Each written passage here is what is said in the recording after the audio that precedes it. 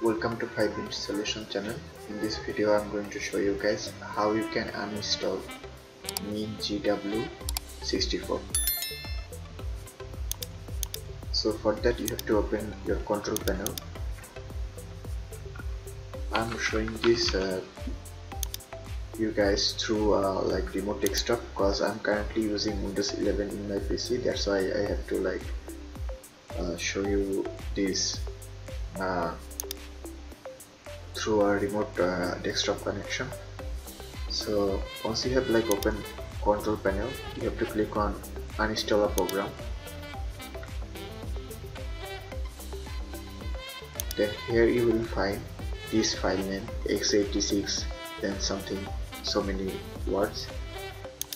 So like for finding MinGW W64 in your PC you have to like uh, see in this tab uh, find the program in this tab not in this tab usually we search for a program in this uh, here in the name option but in this case you have to search for in the publisher option.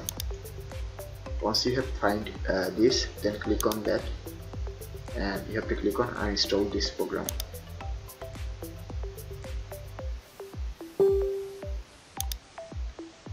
then this window will come. You have to click on next. And it will like automatically uninstall the whole software from your computer. You have to wait for it to finish.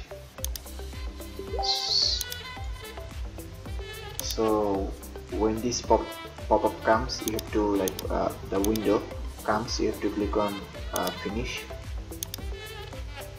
So basically that's how you can easily uninstall uh, this software from your Windows 10 computer.